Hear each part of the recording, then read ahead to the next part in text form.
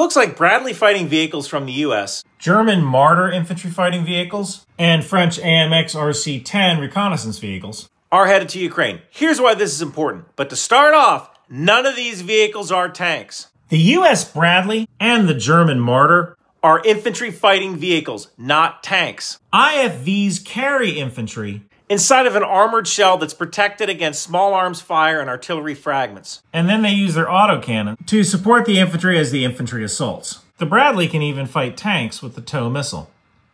And the Marder can as well with the Milan.